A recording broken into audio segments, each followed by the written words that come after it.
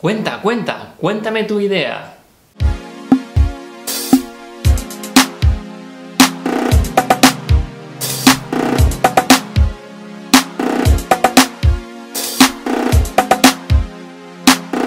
¿Sabes lo que quieres? ¿Tienes una meta que te tiene muy ilusionado? Esa que piensas todos los días y no hace falta colocarte un fondo de protector de pantalla para recordártelo aun cuando te levantas y aun cuando te acuestas. Esa meta que estás pensando nada más levantarte y esa meta que sigues pensando a cada momento, incluso a la hora de dormir. Lo sé, lo sé, estoy muy seguro que quieres comentar toda esa meta a tus familiares y a todos tus amigos. Mi opinión es que si quieres que se cumpla, no se la cuentes a nadie, salvo que sea tu mentor la persona a la cual se la vas a contar.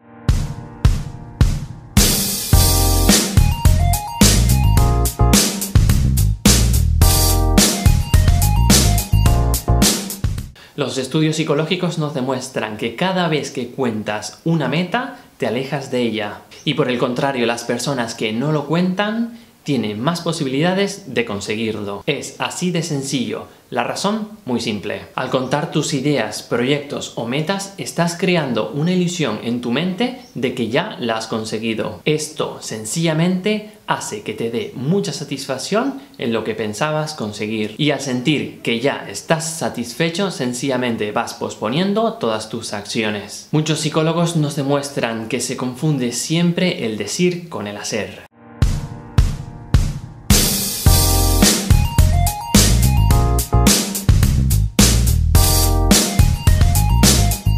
Lo que demuestra que hablar de tu meta hace en tu mente que te sientas muy satisfecho y por lo tanto pienses que lo has conseguido. A que siempre te sientes muy bien contando tus metas y objetivos.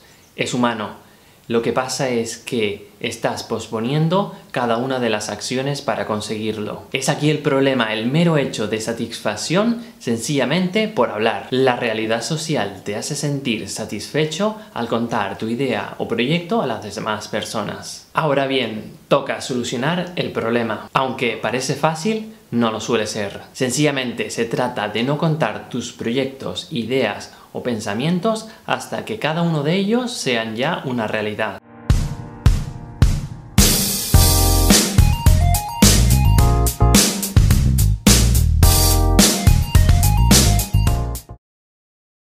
o al menos no contarlos hasta que cada uno de ellos esté tan avanzado que volver hacia atrás no sea una opción y sepas que muy pronto van a ver la luz. Es así de sencillo, menos bla bla bla y más hacer. Y como va a ser bastante difícil no hablar de tus ideas o proyectos, si llegara a suceder el caso te dejo dos de las opciones. Contar tu proyecto a medias, de tal manera que pospones la satisfacción.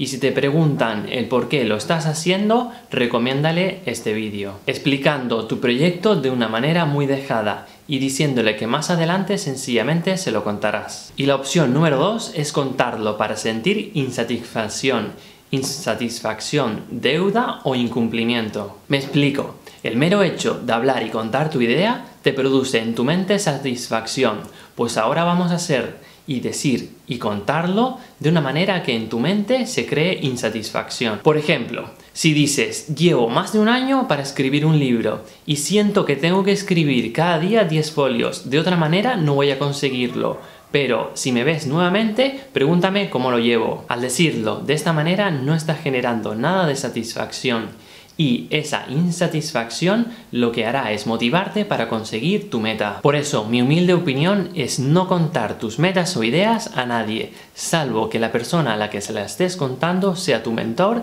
o una persona a la cual te pueda ayudar. Por eso, si te ves en la tesitura de que tienes que hablar de tus ideas o proyectos, mi recomendación es una de las dos opciones. Una, la primera, contarlo a medias y dos, si lo cuentas de una manera que te genere insatisfacción.